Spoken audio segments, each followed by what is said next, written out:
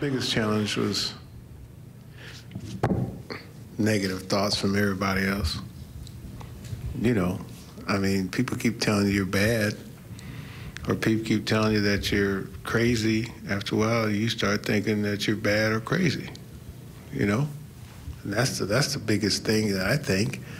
To, to tell them don't listen to people, and to, and to keep them positive, but also be direct enough where you're where you're honest with them, but not not demeaning at the same time. Uh, that's the biggest challenge.